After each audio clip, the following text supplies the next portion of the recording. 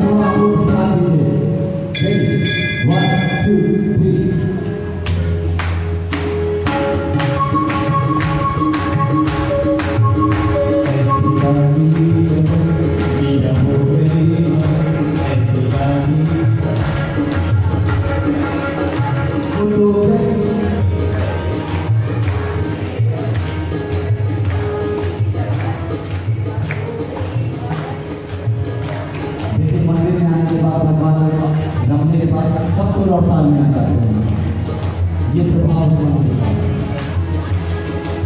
और पहले से ही शुरू हो गया